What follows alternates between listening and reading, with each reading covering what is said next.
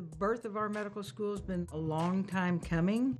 In the state constitution back in the late 1800s, there was consideration of having a medical school in Austin associated with the University of Texas. Fast forward into the 21st century, and there was a reinvigoration of having a medical school in Austin. Along came State Senator Kirk Watson, and he created 10 healthcare goals for the citizens of Austin, and number one was to build a med school. That was in September of 2011. Now, five years later, we have a medical school, we have a building, we have our first class of students. Walking into this building is a very different experience than walking into when I went to medical school. So the building is nice and open, and that, that's a key part. If we lost electricity here, we'd never notice because there's so much natural light. In this building, we have several different places for the students to be. On the third floor, we have meeting rooms where their small groups meet, which have tons of natural sunlight. For our small groups called Pillars and Docks, we use our society group rooms, and I, I think it's a really good place to be able to interact with both our facilitators and our fellow classmates. The rooms are ideally set up for that. You have the big screen, you have the whiteboards, you can write on the inside glass as well. There are whiteboards everywhere too, so you can just pick up an expo marker and start drawing out anatomy structures. And then it's also great just for personal study time because you have this nice, decent sized room to yourself with couches where you can sleep, lay down if you need to. I am known for being in the society group rooms.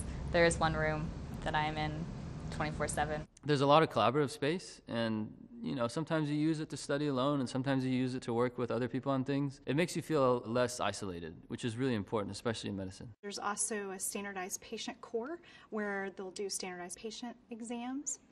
It makes a huge difference when you actually have the small room where you go in to meet the patient, you have the bed that they're sitting on, the sink, and everything all in that one location. It's really nice to see the clinical sim lab is very, very similar to a real clinical room. We have four hour blocks of lab and they're divided into four stations. So, three of the stations are actually in the anatomy lab, and then the students rotate out into the multi purpose lab for the fourth one. The multi purpose lab is open for the students whenever they want to come in. They've been coming in on their own and just using the, the space. There's all the glass that looks to outside, so it's not like you're closed up somewhere. It's very open, the entire building. If you want to study in groups, there's plenty of space to do that. If you want to study by yourself, you can also find space to do that. I'm here usually from 7 a.m. to 9 p.m. This is my home base. I know if it's raining outside or I know if it's sunny outside, which in a lot of academic buildings you don't know. There's a cafeteria downstairs called Nourish, serves wonderful food. At lunch, we all just kind of talk and eat lunch casually. It takes a lot of the stress out and it builds community. The cafe is amazing. It's like the best on-campus cafeteria slash cafe that I've ever experienced. And as to the design of the cafe, you see everyone walking in, so it promotes once again like the community. I think the building is an awesome design. The the staircase that goes up the center of the school really opens it up. I can seek privacy if I want to, but I can also make myself public. Teachers might walk up the stairs or it can be another classmate. Provides kind of a common pathway for everybody to go through um, so that you're constantly running into other classmates and faculty members and members of the administration. The first floor of the building, very exciting. We have a large auditorium, it's 125 seats, but it's based around a team based learning. We've all come from a background where we don't have students participate this way. and We had more of a standard lecture approach. The setting itself allows for teamwork at the table.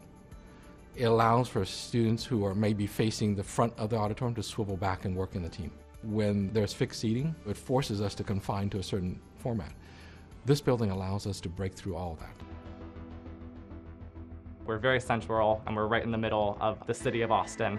And so it gives us this really good outlook onto the people that we'll be serving as we move forward. I think the building is a good example of the scale of change that's happening. It makes me really excited that everyone here is ready and willing to do whatever it takes to change healthcare. We really aspire to something great. We want to graduate physicians, healthcare practitioners, social worker, nurses, pharmacists, who are not just that person in that role. I think part of our aspiration is to truly live up to the motto of our university. What starts here changes the world. We're going to do it.